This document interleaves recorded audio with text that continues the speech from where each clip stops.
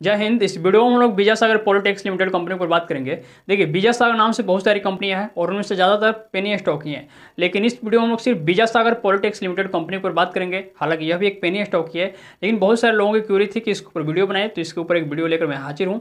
सबसे पहले हम जानते हैं कि यह विजय सागर पॉलिटेक्स लिमिटेड कंपनी एक काम क्या करती है। देखिए कंपनी जो है टेक्सटाइल सेक्टर से जुड़ी हुई है, लेकिन इसका जो मेन बिज़नेस है ट्रेडिंग का बिज़नेस है, अर्थात कंपनी पैसा लगाती है अलग अलग जगहों पर और पैसा बनाती है। अब आइए कंपनी का फंडामेंटल समझते हैं। सबसे पहले देखेंगे कंपनी का मार्केट कैप तो कंपनी का मार्केट कैप है सैंतालीस करोड़। अर्थात कंपनी एक पेनी स्टॉक है और काफ़ी छोटी कंपनी है। सैंतालीस करोड़ मतलब कोई भी इसको ऑपरेट कर सकता है। शेयर प्राइस देखिए, एक रुपया पैंसठ पैसा है और अभी डाउन ट्रेंड में अर्थात शेयर प्राइस लगातार नीचे की तरफ़ जा रहा है। हाई लगा चुका है तीन रुपये चौवालीस पैसा का। मतलब कंपनी का जो शेयर प्राइस है अधिकतम यहाँ तक आया है। यहाँ तक आने के बाद जो डाउन ट्रेंड शुरू हुआ, अभी तक लगातार चल ही रहा है।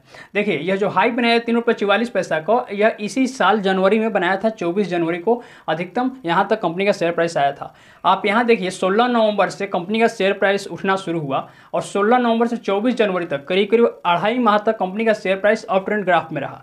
सोलह नवंबर को जब कंपनी के शेयर प्राइस में तेज़ी आई थी, उस समय कंपनी का शेयर प्राइस था अस्सी पैसा और अस्सी पैसा से उठकर तीन रुपये चौवालीस पैसा तक आया। लगभग अढ़ाई माह में कंपनी ने चार गुना कर दिया पैसों को। मतलब पेनी स्टॉक की यही खासियत होती है कि जब उठना शुरू होता है तो खूब उठता है और जब गिरना शुरू होता है तो लगातार गिरते ही चला जाता है।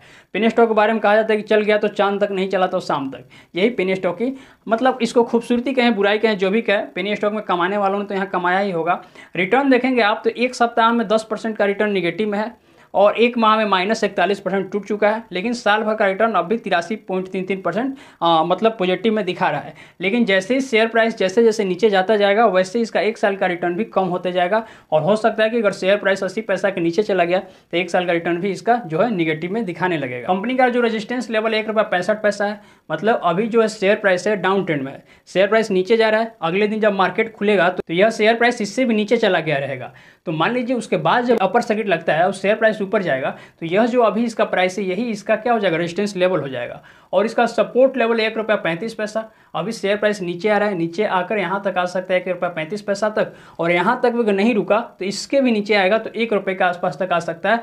उसके नीचे जाने की संभावना नहीं है। तो अधिकतम शेयर प्राइस इसका कहाँ तक आ सकता है? एक रुपये के आसपास। आर देखेंगे आर तीस तक आ गया है। और जब तक इस कंपनी का शेयर प्राइस एक रुपया पैंतीस पैसा या उससे भी नीचे आएगा, एक एक रुपये मान लीजिए आसपास तक आता है, तब तक इसका आर पच्चीस के आसपास तक आ चुका रहेगा। तो उससे नीचे कंपनी का शेयर प्राइस जाने की संभावना नहीं है। अब आइए हम लोग कंपनी का फंडामेंटल देखते हैं कि कंपनी फंडामेंटली कितना स्ट्रॉन्ग है। समझेंगे क्वार्टरली रिज़ल्ट दिसंबर तिमाही के नतीजे कुछ दिन पहले ही आए हैं, उसमें आप देखेंगे कि इसका जो रेवेन्यू है क्वार्टर टू में एक करोड़ उनतालीस लाख का हुआ था, जो कम होकर क्वार्टर थ्री में एक पॉइंट ज़ीरो छः अर्थात एक करोड़ छः लाख का ही रह गया मतलब रेवेन्यू में गिरावट हुआ है और अच्छा खासा गिरावट हुआ है। वहीं अगर प्रॉफिट की बात करें तो देखिए, इक्यावन लाख का प्रॉफिट हुआ था क्वार्टर टू में, जो कम होकर सिर्फ़ दस लाख का रह गया है। और अर्निंग पर शेयर देखिए, क्वार्टर टू में माइनस में था, क्वार्टर थ्री में ज़ीरो ज़ीरो हो गया है। अर्थात क्वार्टरली नतीजे जो आए हैं, उसके बेसिस पर कह सकते हैं कि कंपनी का वर्तमान का कामकाज बेहतर नहीं चल रहा है कंपनी को ऑर्डर नहीं मिल रहा है कंपनी का सेल्स नहीं हो रहा है। यहाँ देखिए कंपनी के पास रिज़र्व है, वो भी निगेटिव में है। माइनस दस पॉइंट सात दो परसेंट सात दो है। मतलब दस करोड़ बहत्तर लाख जो रिज़र्व है निगेटिव में है मतलब कंपनी के पास कैश नहीं है। और कर्जा देखेंगे तो नौ करोड़ छियासी लाख कंपनी के ऊपर कर्ज है। कर्ज काफ़ी ज़्यादा है मतलब जैसा कंपनी का फंडामेंटल है, जितना इसका वैल्यूएशन है, उसके हिसाब से ये कर्ज काफ़ी बहुत अधिक है। और यह भी देखेंगे तो क्वार्टर टू क्वार्टर बढ़ते जा रहा है। असेट्स देखिए, पैंतीस करोड़ सोलह लाख का असेट्स है मतलब कंपनी की खुद की संपत्ति है और यह बढ़ रहा है, ये अच्छी बात है। लेकिन अब लियाबिलिटीज़ देखिए, जितना असेट्स है, उससे, उसका आधा लगभग इसके पास लियाबिलिटीज़ भी है। और यह भी साल दर साल बढ़ते ही जा रहा है। यहाँ तक जो हमने पार्टी देखी और जो कंपनी का क्वार्टरली रिज़ल्ट देगा, इसके बेसिस पर कह सकते हैं कि फंडामेंटल काफ़ी बुरा है स्थिति कंपनी की ठीक नहीं है। वैसे भी पेनी स्टॉक है तो पेनी स्टॉक का फंडामेंटल हंड्रेड परसेंट परफेक्ट नहीं होते लेकिन यह पचास परसेंट भी परफेक्ट नहीं है। और समझिए कंपनी पेनी स्टॉक होने के बावजूद डिविडेंड देती है, फ़िलहाल नहीं दे रही, दो हज़ार पंद्रह तक 2015 के पहले तक भी हर एक साल डिविडेंड देती थी। लास्ट डिविडेंड कंपनी ने 22 सितंबर को दिया था 0.03 पैसा। बेहद कम। हालाँकि यह सिर्फ़ 2015 में ही 0.03 पैसा दी थी। उसके पहले आप देखेंगे 2014 13 12 में तो 10 15 पैसा कंपनी डिविडेंड देती थी। लेकिन 2015 के बाद कंपनी ने डिविडेंड बंद कर दिया है।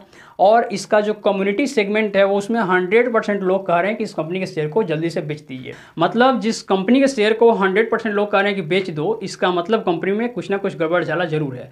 और हमने इसका एनालिसिस किया तो उसके माध्यम से भी कह सकते हैं कंपनी में रुकना मुनासिब नहीं होगा। कंपनी के फंडामेंटल बेहद बैड है। कंपनी को जितना कमा कर देना था, भले ही ऑपरेटर्स ने ही कमवाया हो, लेकिन जितना कमा कर देना था कंपनी कमा कर दे चुकी है।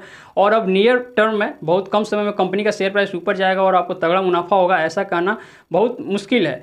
हो सकता है कंपनी का फंडामेंटल आने वाले समय में बेहतर हो तो एक बार ऑपरेटर्स फिर हावी होंगे। अब चूँकि पेनी स्टॉक है तो इसका शेयर प्राइस जब भी बढ़ेगा ऑपरेटर्स ही बढ़ाएँगे और ऑपरेटर्स ही कमवाएँगे। लेकिन उसके लिए काफ़ी समय देना होगा, इंतज़ार करना होगा कंपनी के शेयर प्राइस को बढ़ने का। हम, मुझे नहीं लगता कि इसमें इंतज़ार करने की ज़रूरत है। अगर आपके पास इस कंपनी के शेयर हैं और लॉस में है तो फिर भी मेरा जो अपना ओपिनियन है, आप बेच कर निकल जाइए।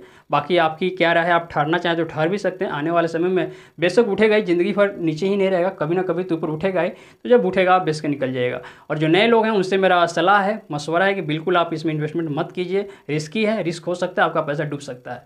तो उम्मीद करता हूँ वीडियो इन्फॉर्मेटिव लगी होगी। मैं जो बताना चाह रहा था आपको समझ में आया होगा। मन में कोई सवाल है तो ज़रूर पूछिए। और अगर वीडियो पसंद आते तो लाइक ज़रूर कीजिए। लाइक करने के पैसे थोड़े ना लगते हैं, मुझे थोड़ा मोटिवेशन ज़रूर मिलता है, जिसके चलते मैं आपके लिए अच्छे अच्छे वीडियो लेकर आते रहता हूँ। मिलते हैं नेक्स्ट वीडियो में, तब तक के लिए धन्यवाद, शुक्रिया।